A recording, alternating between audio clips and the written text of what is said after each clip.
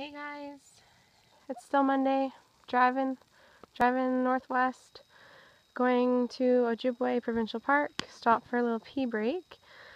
Um, found this beautiful little lake, I wanted to show you. It's raining a little bit, all the trees, peaceful lake, just me and the trees and the lake, and a few mosquitoes. But um, yeah, it's really pretty. Not very many people up here. The highway is just trees. Okay.